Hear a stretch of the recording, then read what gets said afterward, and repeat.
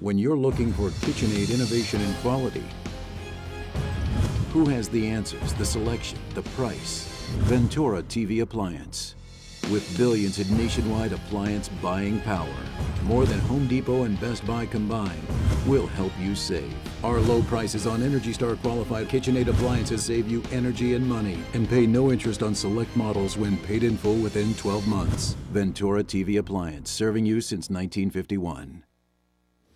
Hi, I'm John Mallison. Welcome to this live edition of Connect with Me on the showroom floor at Ventura TV on this, uh, what is it, Tuesday morning already? Hey, the week is going by fast, and we're live on Comcast Channel 187, 43.6. Today we're going to be talking about the Valley Animal Cell, uh, Center. The Valley Animal C uh, Center Let's see, I, I, said that twice and didn't get it right. Anyway, 436 Me TV option 11. Do not wade through the message, my friends. Just hit option 11 as soon as you can. Very interesting and a very timely topic, I think, on this uh, Tuesday morning. Back in just a moment.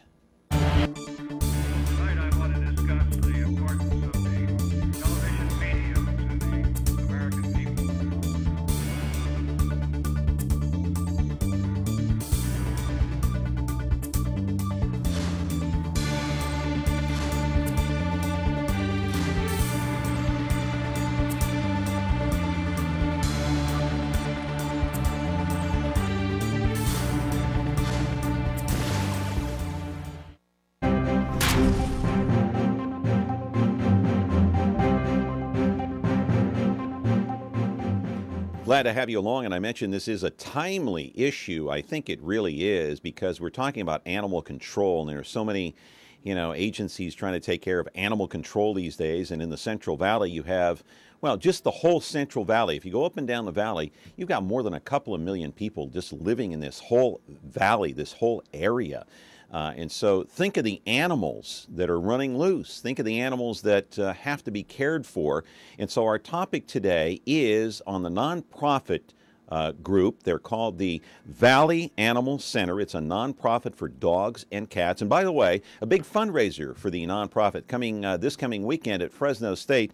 It's called the Wiggle Waggle Walk. It's actually a run and a walk, but they call it a Wiggle Waggle Walk. So anyway, a little play on words there. We're going to go to the videotape right now and show you where this center is located. It's off of Dakota between Maple and uh, uh Cedar. Originally, the space for these animals was about well, about 18,000 square feet, but with the new expansion that took place, now you're looking at about uh, roughly 24,000 square feet plus. Also, there is a dog park, my friends, and there it is. It's about one and a half acres for those pooches to run around and have a good time and play and just have fun in the sun. Now, at one time, this place was called the California Sea Lion Foundation, but they changed their name in 2007. Currently, they carry a lot more cats, though, than dogs 350 cats to 70 dogs. So, if you're a cat lover and you want to adopt one, apparently there is plenty at this point to choose from. About 5 to 10 animals, maybe up to 15, come into this place per day. That's the space inside uh, the center now, and you're looking at one of the dogs right there. Officials say that most people prefer to adopt a dog over a cat at this point. Not sure why, but it cost roughly $1.5 million a year to operate the No Kill uh, Center. That's uh, their policy no kill because it is a nonprofit and they fall under very different guidelines than if you had a shelter that was run by the government, either the city or the county. Some kids there playing with the pooch. Oh, that is a cute shot. Live in our studio right now is Rosie Davenport uh, Port, the spokesperson for the Valley Animal Center. And she is here to take your calls and answer all kinds of questions. 436 Me TV option 11 on this Tuesday morning. If you have a question, if you want to adopt a pet, she didn't bring one in the studio today, but you know what dogs and cats look like if you want to adopt or if you're having a problem. Let's say you adopted a dog and suddenly you cannot take care of it any longer. Maybe it's the cost, maybe it's the burden, maybe you don't have time for the dog or the cat as you thought maybe at one time you did. You can call in and ask a question to Rosie about that very same question. 436 Me TV option 11. We're back with our program here on Connect with Me on the showroom floor at Ventura TV in just a moment. Remember me? After practicing law, Raymond Burr fought crime. You have the right to an attorney. As a hard boiled detective on wheels. Ain't it the truth? His name is Ironside. Perhaps you wouldn't mind saying it again. His name is Ironside. All right, now you've said it. Nothing slows him down. I want to see this one firsthand. Now on MeTV Fresno, Xfinity 187. Now, what are we waiting for? Back here on the showroom floor, Ventura TV on this Tuesday morning, talking about the Valley uh, Animal Center, and it's a great place if you want to go and adopt a dog, adopt a cat. I guess dogs at this point are more popular. I don't know why. Maybe it's the kids. You know, a cat, you can get a cat and you can kind of ignore it. It does its own thing. You know, they walk around. They don't they don't want you to bother them. Dogs want you to bother them. That's the difference. Rosie Davenport is our guest. Hi, Rosie. Good morning. Nice to see you. How are Thank you? I'm doing really well, thanks. Am I right? Cats are kind of aloof. They want to kind of stay in their own corner, leave me alone. A dog is like up in your face. You know, it's, Yeah, they, you they need the attention. The I think dogs. I think it's definitely a personal thing. I've I actually have a kitten right now who's very in your face and wants my attention all of the time. Mm-hmm. how how young a cat though. um, he's a teenager now, so he's about six months old. Wait till he gets older. He won't want anything to do with you. He will. They do. They do tend to be a bit more aloof than dogs, and you know, I always think of it as the different ways they love. You know, dogs are just unconditionally loving, and you have to earn a cat's love. I always think. I think so, and I, I think dogs are more a little more trusting just right off the bat by Yeah. nature. By Yeah. nature. I I would agree with you. Yes. Yeah. so big problem here in the valley. You have a lot of stray animals. Yeah, we have uh, we have not only stray animals, but um, you know, unwanted animals. Let's put it that way. Homeless animals is what we call them. Um, we actually one of the have one of the highest epidemics of homeless animals in the entire country here in the valley. Yeah. So the the question begs, what do you do about it? I mean, you know, you have you have uh, there there's a there's kind of a um, you know a tit for tat here between government officials. Now you're a nonprofit, so it doesn't really apply to you. But for the longest time, you know, the, the, the animal shelters that are owned and operated by not owned but operated by government officials, uh, similar to Liberty, um, you know, it, it, they go back and forth. There's always a riff. Do you do you keep the animal? Do you kill it? How many do you do you take in a day?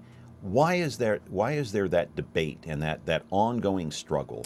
So how it works, and a lot of people don't realize that um, a city and a county have a mandate by the state of California to provide certain animal control services. So those services are they have to provide an area that the public can take stray, unwanted, and aggressive animals. Right. So basically, because we have that mandate, uh, animal control has no choice. Those who are contracted to do animal control here in our area have no choice but to take in those stray, unwanted, abandoned, or surrendered surrendered animals. Yeah. Okay. Another uh, call here. Good morning. You're on Connect with me with Rosie Davenport. Your question, please. Hey, well, my question is, for one, oh, gee, do you guys stay and neuter? Yes, at our um, if you're asking at the our facility, the Valley Animal Center, we actually have a low cost spay, neuter, and vaccination clinic on site that's open to all Valley residents. We provide the services at one low cost to everybody who walks through our doors. Okay, great. And then the other thing is, if you know, do you get to play with the dogs ahead of time to see if they're hyper or um, maybe their personality? Yeah. So what um, we always provide, what services we provide to the community who want to adopt to us from us. Um, if you come into our shelter, you're guaranteed to get an animal that's spayed or neutered, fully vaccinated, checked for all diseases. They'll come microchipped, and we also temperament test them. So we will test them to see if they're good with cats, if they like kids, if they're food aggressive, and then we'll actually let you spend some time with the animal in in a private room or take it out to the dog park um, and let you meet it so that you know what you're bringing into your home. Um, we also let you, if you have a dog at home and you want to uh, let your dog come in and meet meet your potential adopted dog as well, that's totally fine. We want you to make the most informed decision possible when you decide to take an animal into your home. Okay, and the other thing that I've heard different uh, things about is having the bark removed. How do you feel about that? I take care of my sister who has Down syndrome, and she can't handle a dog that barks. You know, So, have you heard of that procedure? Yeah, I don't know the science, the medical science behind it and what it would encompass. Um, I've talked to a few vets about it and I've heard it's um, you're not removing their desire to bark. You're just uh, basically damaging the vocal cords, is what I've understood enough that. Uh, it, it, they're they're still trying to bark. You're just kind of damaging uh, their basic structure. So my recommendation on that is there are definitely breeds um, out there that don't bark. I I for myself have a husky. Um, they're known to they don't bark. My dog talks. She talks in a really funny voice. You can you know I'm sure you can look up videos of dogs that talk, but um, she doesn't actually bark. So you definitely want to do some breed research and figure out what breed first of all you know is not inclined to do a lot of barking. Okay. Okay. And what is the price to actually adopt with you guys? So our dogs cost 175 to adopt, and our cats are 85.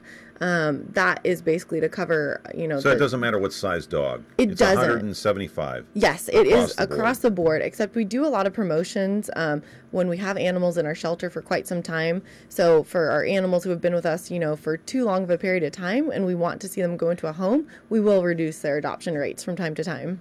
All right. Thank you for the call. I appreciate it. Thank you. Bye bye. All right, let's roll the videotape now. We've got uh, some video of some dogs at the Valley Animal Center, and there it is right now. So, as we're looking at this video right now, um, what do you do about the homeless animals, whether they're dogs or cats? You can't keep them all. Would you agree with that? So, as a no kill shelter um, in a private organization, we legally can't even take in stray animals to our organization. Legally, they have to go through animal control to give their owner a chance to claim Animal them. control meaning animal control. So in Fresno, that would be the Fresno SPCA. Fresno Right. County is uh, Liberty Animal Control, and Clovis has Correct. Clovis Animal Services. correct. And then how do you get them? So how we operate is we try and take in our the majority of our animals from animal control. So say they haven't been claimed by their owner, uh, they might be running out of time at animal control. It's getting pretty full. Then we go in and say we've had we have ten spaces for So dogs. if I found a stray dog, I couldn't bring it straight to You your could not bring it to us, I'd no. have to take it to SPCA. Yes. Boom. They'd check it out. They'd, they'd call you guys and say, "Hey, we got a dog here that was a stray. Do you want it?" Yeah, and you know, it would just depend on the space that we have. If we have a great day and we have 20 Right. adoptions in a day, then yeah, we can go down to animal control Right. and pick out 20 animals that um, we can take into our shelter. And then they stay with us until they do find a home.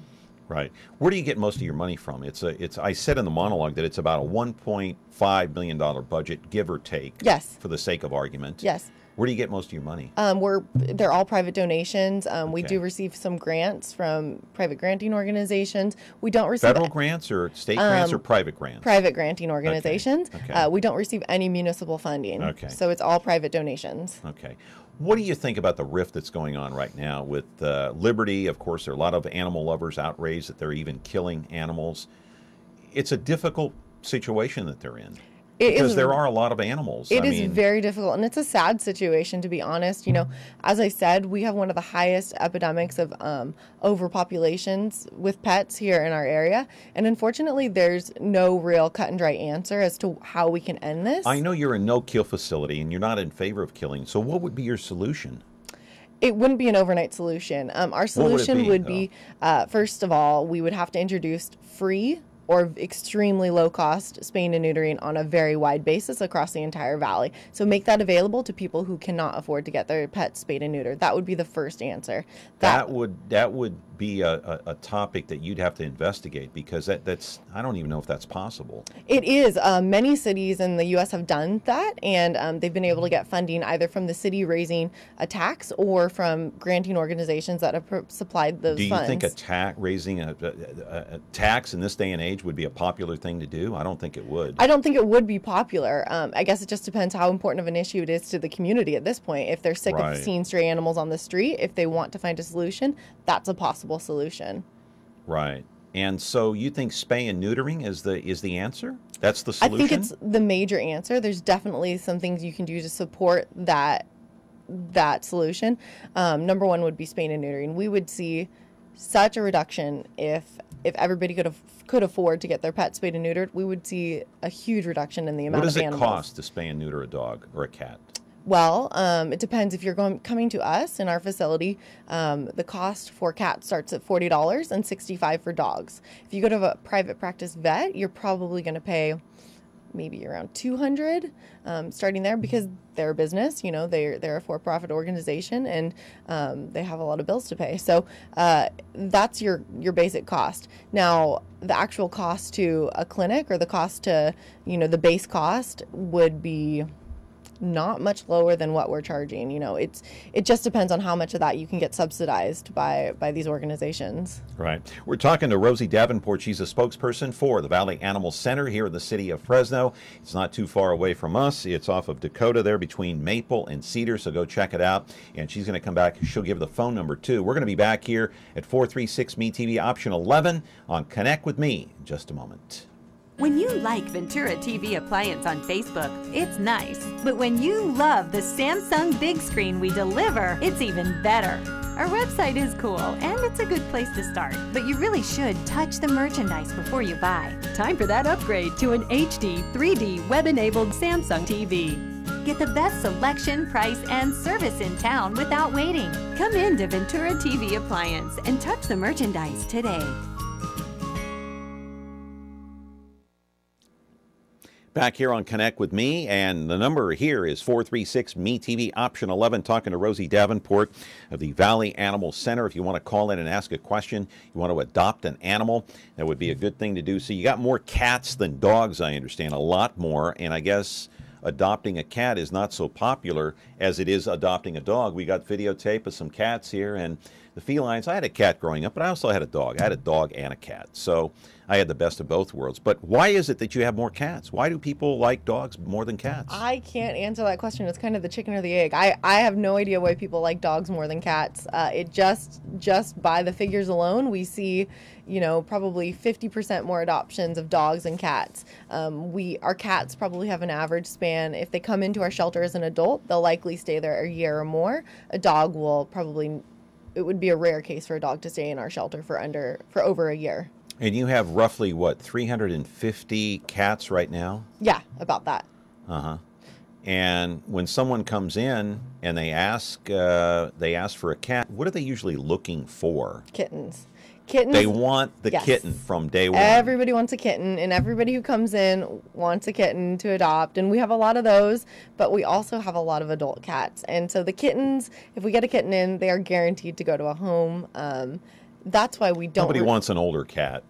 Unfortunately, they don't, and it's crazy. You know, I love older cats. So yeah, um, yeah, but kittens are cute. They are very They're playful cute. and yep. cute and have a lot of energy. All right, you're on Connect with me. Your question?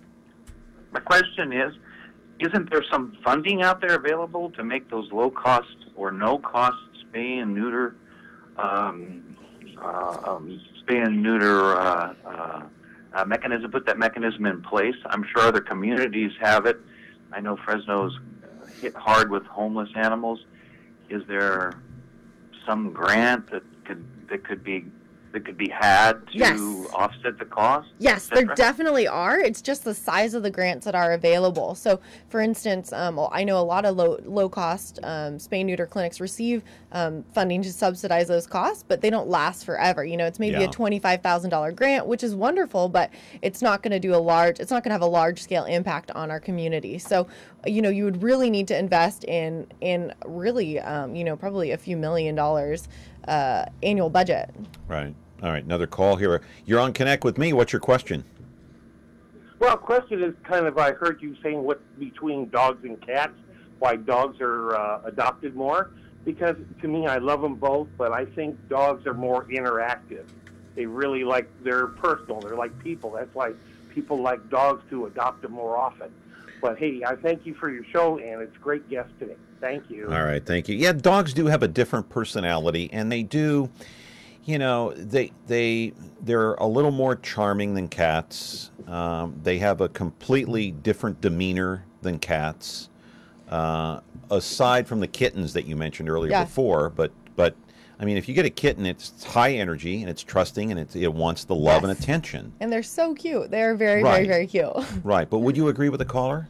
Um, yes. I mean, I think that I know my dog. I have what both a dog, an adult dog that I adopted as an adult, and a kitten, um, a teenager who I'm actually fostering for our organization. And uh, my dog loves me unconditionally, and my kitten loves me, but it's definitely on the I kitten's mean, a terms. dog, you can take a dog for a walk. yes, and You know, we- how many people have you seen that take their cat for a walk? one. I actually just met a lady who does that, but it's All right, very fine. rare. It is I mean, very it's rare. rare. See, a dog Yeah. you can take anywhere. I, I, I totally. Totally agree. Um, but cats mean, do certainly have a lot A seeing eye dog. Have you ever seen a seeing eye cat? I haven't actually. I was just reading about a program where the CIA tried to um, actually introduce a program of cat spies during the Right. 50s, and they invested, a I think, a million and a half or two million into the program. And Right. the first cat was actually hit by a taxi. Ah, yeah. So the program didn't good. work out, but Yeah. They had a well, chance You've heard of a guard dog. Yeah. Haven't heard of a guard cat. no, I haven't. so, so I mean, it is so much different, and I guess that's why people, you know, want the dogs more than cats. Yeah, and you know the other thing is cats actually usually have a longer lifespan as well. So if Mhm. cats can live up to you know 15 to 20 years old. Yeah. Um, a big dog usually lives you know anywhere from 10 to 14, years. 14, yeah. My Um, dog was 14 when he died. Yeah, that's yeah, that's, a long time. A long time, and you know little dogs can live a little bit longer, but their lifespans aren't as long either. So, um, you know that's another reason when you get a cat, that might be the next 20 years of your life that you have it. All right. Now I don't, I don't, I didn't bring you in here to put you on the spot too much, but I, I gotta, di- I, you know, I'm, I'm still having a hard time grasping. Okay, if you spay and neuter, you're going to get rid of this, this homeless problem. You're going to get rid of the no, uh, the kill problem. I'm not sure that's going to take care of the entire problem here in the Central Valley. This is a big area. It is. We have a lot of people, and we have a lot of stray animals. Yes. So you're right. I mean, spay and neuter programs wouldn't get rid of the entire program, but they would help. Um, What else would you have to do? so there are actually I mean, if you want a if you want a no kill zone all the way across the valley, Yeah. it's got to be more than just spay and neutering. It, it that would be the largest impact. Um, the other thing is, you know, for people, But but but what what proof do you have that that would work? uh, just other communities. I've looked at case studies. Such as? Um, so LA right now is actually going through a no kill initiative, and they're actually on course to become a no kill city in under a year. And they actually had a higher pet overpopulation crisis than we did, and their numbers are now way, way, way lower than ours. I mean, they are just decreasing by the year. San Francisco did the same thing. They enforced. Um, But to totally get rid of it is almost an impossibility. well, their kill rate is well over. Basically, what it means to be a no-kill um, city is to not kill for lack of space. So you can you can Right. actually have the space to keep an animal until it gets adopted. You still may have to put down an animal if it's sick or injured or aggressive. So you would still have those incidents. Are you in favor of putting them down if they are aggressive and they bite someone? You know, that's not really my call, bull. to be honest. Well, I'm Um, just asking your personal opinion. I, I don't I don't associate with breeds like that. We have many many pit bulls and pit bull mixes in our shelter, and they are some of the Well, sweetest forget dogs about I've the met. breed. In any dog, Yeah. would you be in favor of that? I guess it depends on the dog. You know, unfortunately, what I've seen a lot of the time is a big dog will bite somebody, and that dog will have to be put down. And a little dog that does the same, it's not you know as aggressive of an attack. But certainly, if a dog bites a child, that's that's a big thing. If they're- hurts the child. Yeah, and if the if the dog is prone to attacking humans and they and they might do it again, I can see where you know that might have to be an incident where um, you have to Yeah. consider that Ab- absolutely. But uh, you know, dogs are a product of the people But they who say once them. a dog tastes blood, it's you know it's like a vampire. It's got to have it again and again and again and again. I don't think I agree with that. Okay. I've I've met a few dogs who that. have.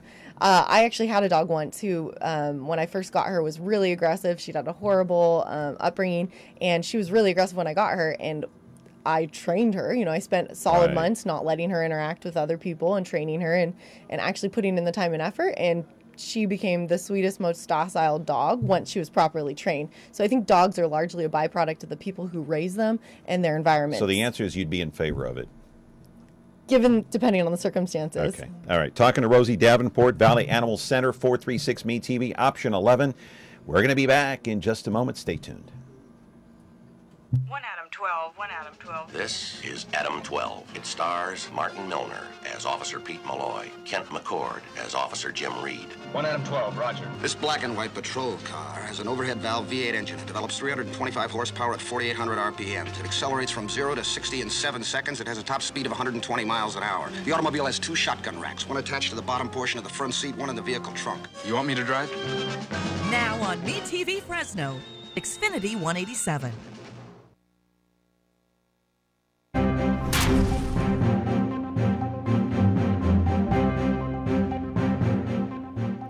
Back here on Connect with me on Me TV Fresno, Comcast Channel 187 and 43.6. We got another video. We're going to talk about the dog park. Okay. We've got the video. Let's put it up. And uh, so, when did this place here come into be? So we've had our current facility. We've been open at this location since 2007. Right. Um, right. But the dog we- park was built when? The dog park was open to no a month ago, a full month Oh. ago now, but it had been under construction for a year.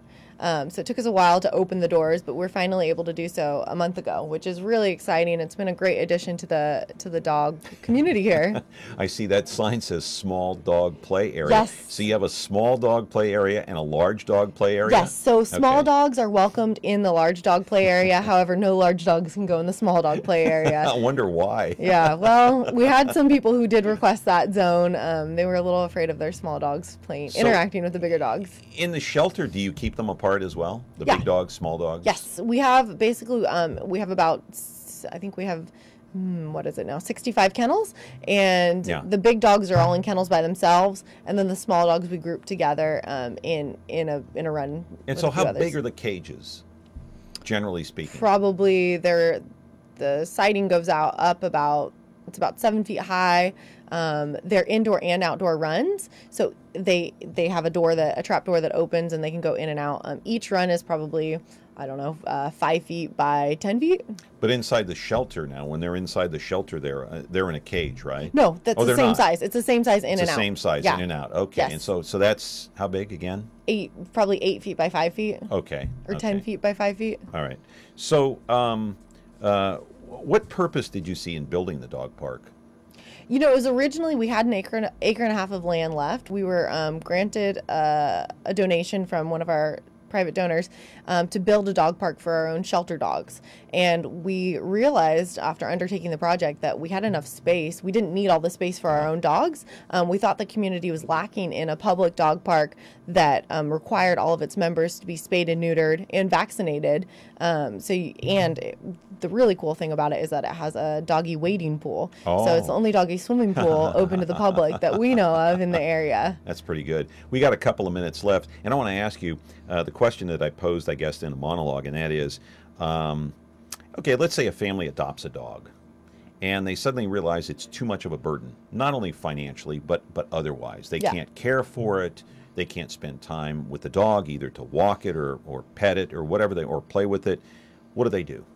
Well, it depends. Um, with our organization, if they had adopted the animal from us, they have a re- we have a return policy of 30 days. So if they realize in 30 days that they can't take care of the animal anymore, they can bring it back to us. What happens beyond that? Beyond that, you know, it's really a discussion to be had among this amongst the situation. You know, I hope that anybody who decides to take an animal into their home understands that this animal can live for, you know, 10 or 15 years and they know what kind of undertaking they're taking on. However, I understand there are certain situations situations, you know, somebody gets sick, you have to move. There are certain emergencies that happen.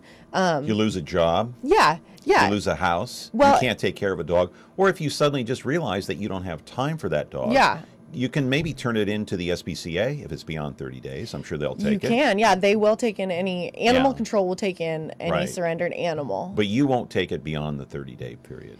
Depending on the circumstance we have had a few circumstances where you know somebody loved their animal and you know they were devastated um, and you know we have taken them back in. What we've done from time we call those owner surrenders and if we have the space we can sometimes open our shelter to owner surrendered animals but it's very case um, case by case. How many of those cases do you have? um, it's hard to average that. Again, it just depends on how many adoptions we have in any given month. If we have, you know, 20 adoptions, we might have space for two or three owner surrenders there. Does in other words, does it happen often? Yeah, I would say we have a few a month. A few a month that, Yes. that return the animal. Oh, not that return their animals. No. Um, Yeah. I would say that the people who who actually undertake to un- adopt an animal from us probably 90 per, 95% of them keep their animals. I we have very rare cases of people who return animals to us. And if your dog or cat passes away, what do you do? Bury it in the backyard? That's not a service we provide. You know, I think uh, I don't know the legality of this. I believe there's some law about burying an animal, so um, you probably don't want to shout out to your city official if you're burying an animal on, Okay. on any land. But I know there it in are box and bury it. I know there are services Yeah. um, that that cremate your animal. There are pet pet cemeteries. Again, that could can be go costly, to. though, too. It can, um, and I don't know the cost associated with that, but You are very kind to come on our program. Thanks for having Thank me. Thank you for taking the time and come back again. Okay. You're a very pleasant guest. Thank you very much for the information, and I love your center. Thank very you. nice. If I need a dog or a cat, I'm going to call Rosie. We're going to be back tomorrow with another edition of Connect with Me. We're going to be talking about the Major League Baseball playoffs with our buddy Nick Papagni. So be here again on Comcast Channel 187 43.6. That's going to do it for us. See you tomorrow.